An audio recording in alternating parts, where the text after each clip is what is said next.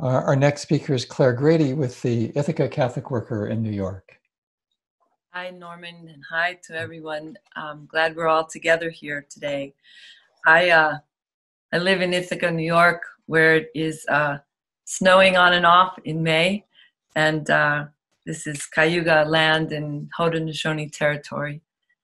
Um, in this time of COVID, there is a lot being revealed, and I truly believe that what is revealed can be healed. Another way of saying that is maybe the truth shall set us free. I was reminded uh, by a friend's words yesterday that the truth is worth repeating. So I'll be repeating a few truths as I understand them. Truth. Trident is the most deadly weapon on the planet. My government possesses 14 of them, six of them are home ported at Kings Bay. Truth. The Pentagon's vision for 2020 this year, written about 20 years ago, states clearly and unabashedly that the division between the haves and haves not have nots on this planet will be greater than it ever was. And to ensure that the US, i.e., corporate moneyed interests, come out on top, we must ensure global dominance, i.e., a military dominance that includes space. Truth. The trident is the ultimate logic of this very sick vision and system. Truth.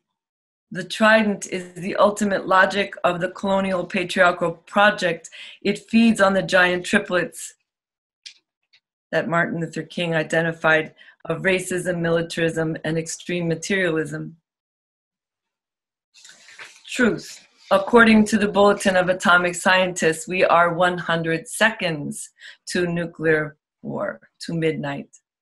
We might be less than that since Trump pulled out of the Iran nuclear deal just a few days ago. Truth.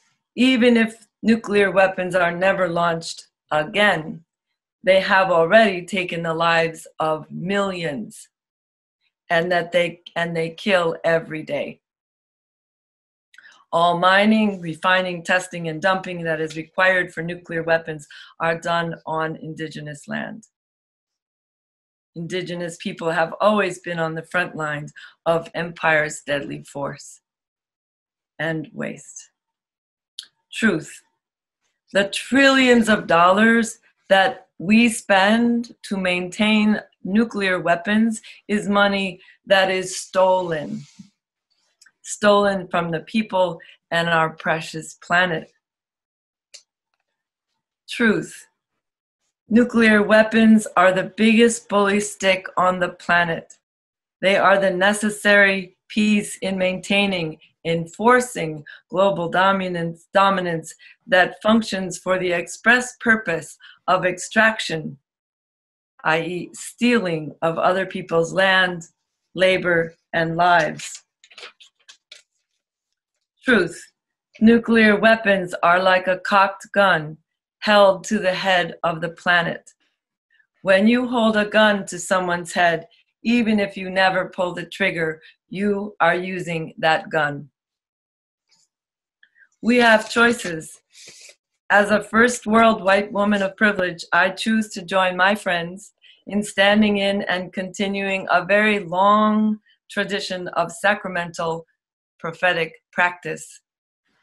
To take up nonviolent symbolic disarmament of Trident, a weapon that enforces the violent systems that are killing the planet and her people every day.